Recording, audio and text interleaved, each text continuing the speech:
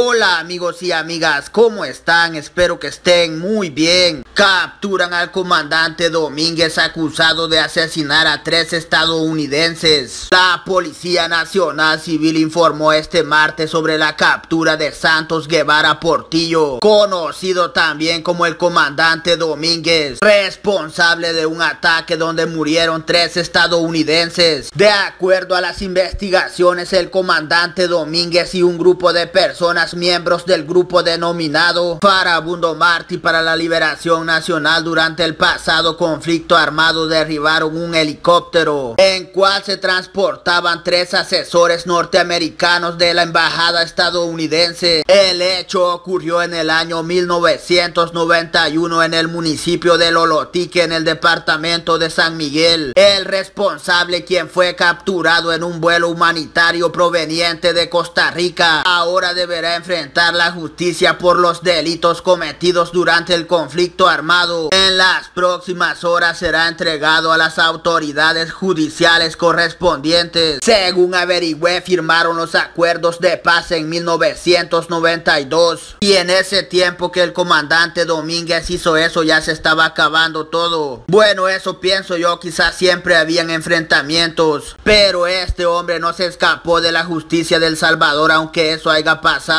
hace años. Ya lo estaban vigiando los policías que se bajara del avión porque era buscado hasta por la Interpol. Voy a seguir con otra noticia. Deportan de Estados Unidos a un peligroso delincuente buscado por varios delitos. División de cumplimiento de disposiciones judiciales y del Servicio de Migración y Control de Aduanas de Estados Unidos capturaron este martes a un peligroso pandillero buscado por la justicia salvadoreña el delincuente identificado como Douglas Itgadi Argueta fue arrestado luego de ser deportado de Estados Unidos a donde había huido para evadir la justicia del país. De acuerdo a las investigaciones, Argueta era buscado por quitarle la vida a una mujer, homicidio y tenencia o conducción ilegal de arma de fuego. En las próximas horas será entregado a las autoridades judiciales correspondientes. Me sorprende ver toda la que está agarrando la Policía Nacional Civil del Salvador. No sé qué hacían en los gobiernos de antes, quizás los dejaban escapar. Pero ahora creo que el presidente Bukele ha puesto más seguridad en el país. Y ya los que vienen deportados no se escapan y los meten a la cárcel. Tampoco otros que se andaban escondiendo de la justicia del Salvador que vivían en otros países. Gracias amigos por ver mi video. Por favor denle me gusta y suscríbanse a mi canal. Hola.